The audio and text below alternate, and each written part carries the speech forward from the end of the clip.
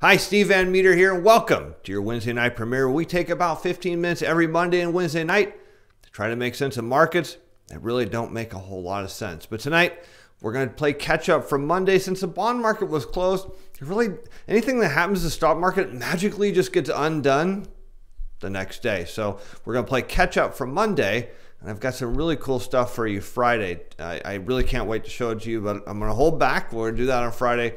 And we're going to try to look objectively are stocks cheaper or bonds cheaper? And you know, where where do you go with your money? You know, we're in a 10-year expansion. Stock market has been up. It continually trades higher on trade news or lack of trade news, or even negative trade news, as if there's so much pent-up demand over the last two years that consumers are just dying for the green light on this trade deal so they can go buy new homes and cars and electronics and cell phones.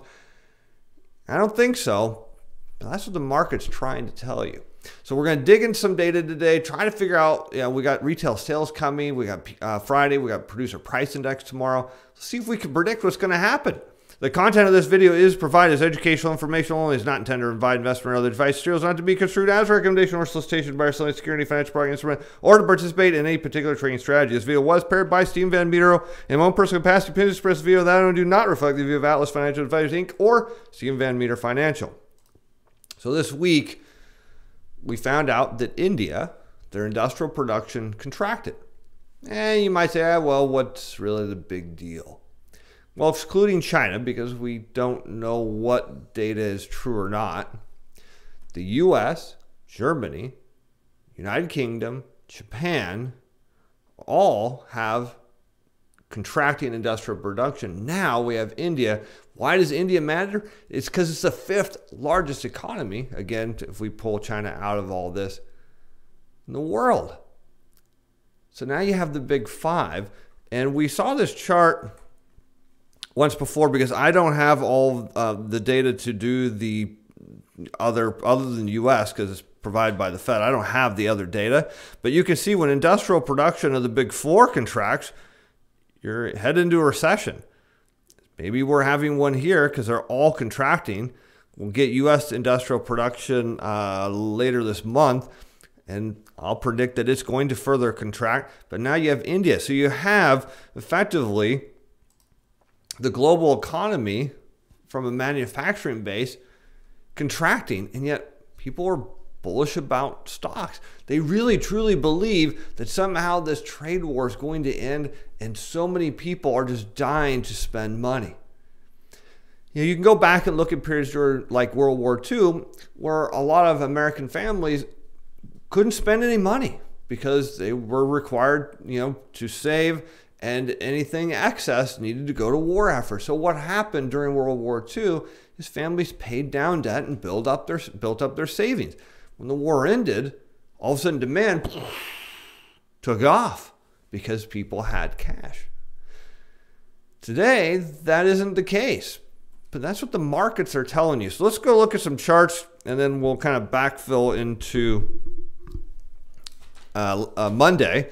Take a look at how hedge funds managers are positioned and see who is overvalued and who is not. Now, this is the manufacturer's new orders of durable goods. So these are your large goods, things that people buy that they don't plan on replacing, like refrigerator. Well, they don't plan on replacing them right away. Refrigerators, Russian dryers, large items that are going to be more expensive. And that is in blue on a year over year basis. It is contracting. So, what this tells you is that orders, new orders for large durable goods, is less than it was a year ago. In fact, it's been less than it was a year ago for several months.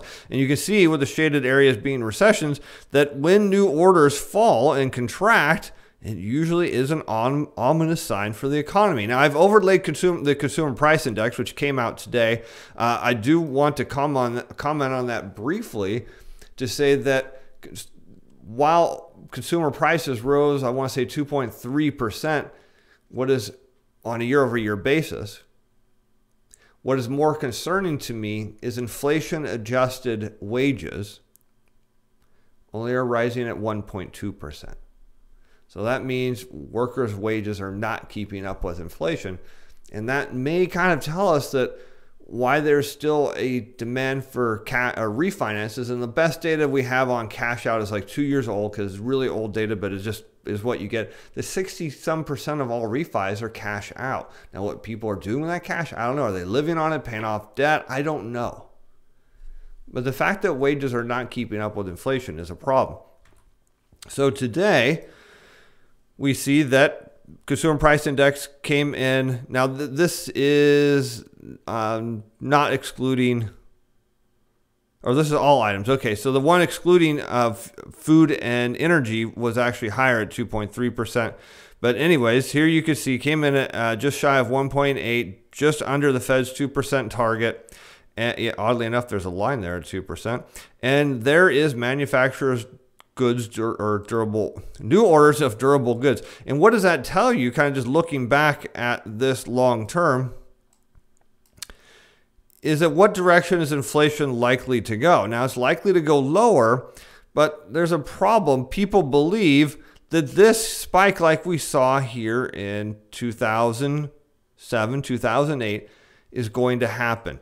And so when it comes to investor positioning, when inflation tells you to buy stocks, sell bonds or short bonds if you're a speculator, and that's your position, and buy oil. So think of that's kind of what you would be thinking because the market truly believes we're going to have an inflation spike. Now, the question is, are we really going to have that? Well, let's go look at the next chart where I've overlaid 10 year treasury yields, and you can see there's a long term relationship where when treasury yields fall, because it indicates tighter financial conditions that consumer prices fall. And you can see consumer prices in red, 10 year treasury yields in blue. And that suggests here that consumer prices, you can see in the short term, looking at a 10 year period, that consumer prices are, or the growth of consumer prices is likely to head lower.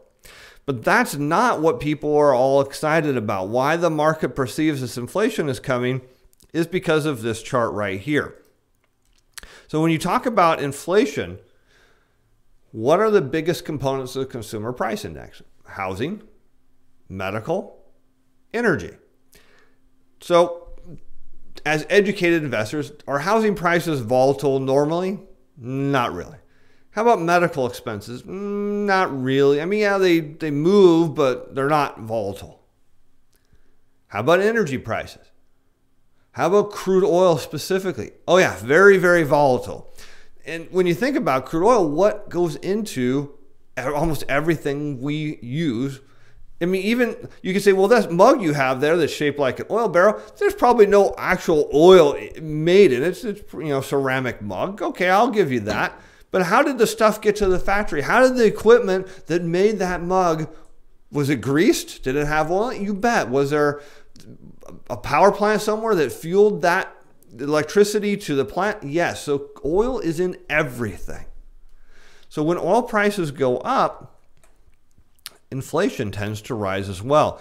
And what you can see back here between 2007 and 2008 was a spike in crude oil in blue, and that drove consumer prices higher. So now we're over here. Whoops, we're over here do you see a spike in crude oil? No. So the notion that we're going to have this big spike of inflation coming and that's why investors are positioned the way they are is not true.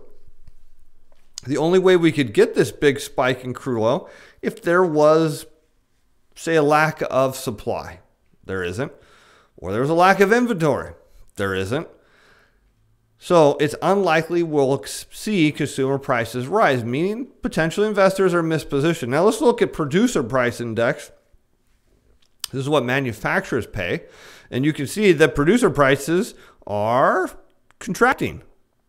That's not being passed through to you and I as consumers, but it means that producers are paying less for their inputs than they were a year ago. And when producer prices fall, well, you can guess what is going to eventually happen to consumer prices. And you can look at manufacturers' new orders of durable goods and say, wow, what a nice relationship. When new orders start to fall, well, lo and behold, input prices tend to fall. And it's a simple supply and demand issue. If I'm a business and I manufacture, say, washers and dryers, and I'm, you know, running projections, which most companies run projections like, you know, a line. Hey, look, we're going to sell all this all this new product. We better build a whole bunch of it. So I hire some employees and buy a bunch of raw materials, and I load up on washer and dryers. Well, when new orders start to fall, what's my problem? Well, one, I'm going to cut what I'm ordering. Right, I'm going to go to my supplier and say, hey, I don't need whatever the stuff I needed to build these. And then I'm going to have to face lowering my prices, hence, you know, you see consumer prices fall to move my inventory. So as fewer businesses are ordering raw materials, price of raw materials falls. And that makes sense when we look at the producer price index. And on Friday, we have retail sales. And retail sales has a pretty good relationship with durable goods new orders. Well, that makes perfect sense because, well, if people aren't buying as much stuff, what do retailers and wholesalers do? They lower prices. So when we look and we see there's a bit of an anomaly here where retail sales has been growing around 4% a year and durable goods new orders are falling at a rate of minus 5.5 five four percent. Geez that's a lot. Uh, anyways so you look at that discrepancy and, and what could be going on here is there's a lot more inventory in the channel than people believe. There are huge amounts of inventory and companies are not talking about that during their earnings. I mean you hear things like the port of los angeles not only is the port full their warehouses at the port are full because the warehouses of the companies who are importing the stuff they're full and their stores are full I mean, I read today that Fiat Chrysler is trying to push 40,000 new vehicles into its dealership network, and the dealers don't want it. Again, too much inventory, so companies are constantly trying to find ways to hide this stuff off of their books. So this makes perfect sense. And when you have these anomalies, where durable goods is headed down and retail sales is rising, you can guess where retail sales is going because obviously it tells you that if a retailer is not selling them, they're going to cut their orders to the wholesaler. And if enough retailers cut their orders to wholesalers, wholesalers cut their orders, and it dominoes down the supply chain because it tells you that eh, retail sales are going down. Now, does it mean we're going to see a sharp drop on Friday? I don't know. It just gives you a good idea of what is coming. All right, so let's go take a look at how hedge fund managers are positioned. And when we get to the crude oil one, let's be a little objective about what we're looking at. So, what we have now seen is as of last week, no surprise, hedge fund managers are chasing this move higher because, again, they totally believe that inflation is coming. Everyone is looking back at their charts of 2007 and 2008. They're not overlaying oil. And even if they are, they're going to be mispositioned on that because there's so much supply in the oil market. So, is it a surprise that you have algorithmic computers selling based on fake news, then quant computers selling based on the fake news of the of the algos who who move the market enough to trigger selling of the quant. And then you have hedge fund managers who say, hey, why not? I'll join in the fray because finally inflation is going higher and that means interest rates are going up. So again, you see this move short here. What we found out today, uh, what we already know is the algos moved on fake news, so that doesn't help. The quant computers are pretty much done selling, meaning there's be an opportunity for people to buy into bond market and push those quants back in at a higher level. I expect that to happen. And an opportunity to squeeze these hedge fund managers who are chasing the fray. And you can see the currently net short was 231,000 up 115 huge net short increase. And keep in mind, interest rates do not bottom until hedge fund managers, speculators are long. Here we have 30 year, no surprise. They increased their short more than 50, more than 100%. They went uh, from 31 uh, or up 31,000. So they were at uh, what 23,000. Big increase, over 100%. Again, shorting the 30 year bond. Even though we know based on the real estate data, there isn't much demand. In fact, uh, looking at the weekly mortgage data, says the demand for mortgages is roughly flat since July. So there's no increase in demand here that is substantiating higher interest rates. But again, these are all people who are speculators, either computer models or they're speculators who do not care about the facts, they care about the trend. Now let's look at crude oil. And you can see these are very long positions by the hedge fund managers. So stop and think for a second if these hedge fund managers unwound their positions back down, how low would crude oil go? And if crude oil fell, okay, now that you see the relationship between crude oil and consumer prices, what would that mean to the consumer price index? Well, it will go down. And what would that mean for treasury yields? It would go down. So what you're seeing here is the hedge fund managers are artificially propping up crude oil to, to play their inflation narrative because they believe that's happening. But at some point, we're going to keep seeing these build week after week. Now, why are we going to see crude oil build? Now, I'm sure there's some weeks we're not, but overall, we're going to see more builds than drops. Well, you do, you just saw that. Five major industrial countries all have contracting industrial production. So if you're a manufacturer of, of industrial goods, you don't need as much oil when you are selling fewer things. And we see that in the durable goods orders and all and whatnot. So that tells us that these long position oils are going to get unwound at some point, lead to lower inflation, lower treasury yields. All right, let's move along. Uh, hedge funds are uh, pushing their longs on the S&P, no surprise. Uh, they're pushing their longs on gold. Again, there it's interesting because when you get these long positions in gold, it, it's going to get unwound. That will be where you find the, the next bull market in gold is the bottom, wherever this thing bottoms somewhere down here, because you'll have flushed out all the speculative positions. And that means the smart money will have bought for more than five years in. They will have been buying all the way through here and they will hold all the cards. So this is the final move out and you can see it rolling over despite hedge fund managers being long. Uh, they've increased their long slightly on the NASDAQ and are backing off their short positions on uh, small caps for Russell 2000s and backing off their US dollar shorts, which is actually bullish for bonds, even though they're not a direct correlation. But think about this when currencies get weak, what tends to happen? Inflation. So when currencies get stronger, you get disinflation. So rising dollar does support uh, lower interest rates. But here's a big question in terms of what's overvalued, stocks or bonds. You have the largest short position in the volatility index. So if speculators believe the volatility in the stock market is going to stay low to the point they have record short positions. Now, when this gets unwound up to them being in the plus, that means stock prices go down when volatility goes up. And when the more people that pile into these short positions, it does not take very much, just a spark of a match sometimes to set off an unwind of short covering as these speculators are forced to buy volatility to cover their short positions. And when you find out on days like today, where mutual fund managers have virtually no cash, they have just drained down the cash to buy stocks, and you're hearing all these people chasing the market, it sets up a potential move on no news. All it would just take is just the ball to get rolling down the hill, and it would just force selling after selling.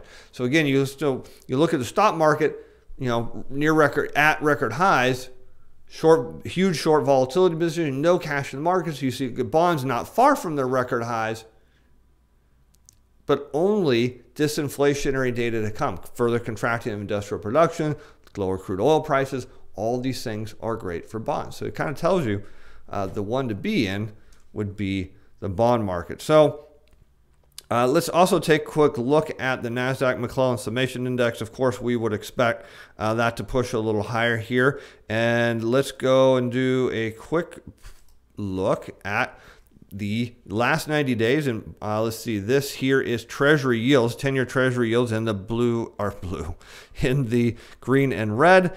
And in purple is the largest S&P 500 ETF, symbol SPY. And you can see that now zooming out, big divergence. One of these two gaps is either the gap is going to close higher with interest rates going up or stock prices coming down. One of the two things is going to happen. But in the last 90 days, you can see they're fairly well in sync. And this is normally where they should be long term. So there's a gap here. What happened is stock market's trying to grind higher and push treasury yields up. But unfortunately, the data keep for the stock investors keep saying the same thing, and that is there isn't any inflationary data. But you have a lot of speculative positions here that have driven this up, and you had some selling, and you had a lot of selling of quantum computers, which will come back in as their as their price levels, as the yields move down, they will hit price level um, yield levels to buy back in, and they will do so. Now, the only bad thing about today is we have a new gap in yields. Now, whether this will be filled immediately or, or it will be filled in a later date, months, years down the road, I don't know. Uh, but there's one, two, uh, three, four, five gaps on the way down. So it still still tells us there's a, a touch of the all-time low. We'll break the all-time low, yank the rug out of the market, and then come back up here. That could happen. Um, but all I know is on Friday, I've got some more, re- uh, really cool that I wrote about, and I'm going to show you some graph based on the Treasury debt cycle. Why interest rates going down due to the excessive government borrowing. I'm Steve Van Metre. I'll see you Friday. Bye now.